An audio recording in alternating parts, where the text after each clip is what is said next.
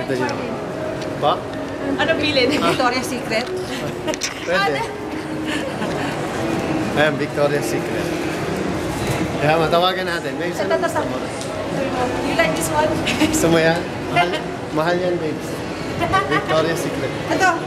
Ano na lang, mag-Victoria na lang tayo. Pero tsaka secret yun. That's a different Victoria Court. Libi-libi yun. Alam mo walang ganito sa States naman. I know people are like, Alam mo lahat sila mapapatingin sa akin. May sarili akong cameraman. Nilipad. Ang galing ah.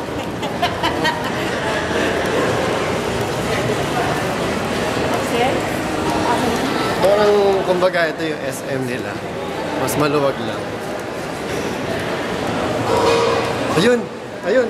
Naalala ko yan. Dito kami noon. Ayun, may picture ako din sa JC Penny. Kita niyo naman. Ayun, oh. Oh, Penny. Oh, di ba? Dito kami ni Arnold. Pa-picture ulit ako. where? Diyan sa JC Penny. Tama ka.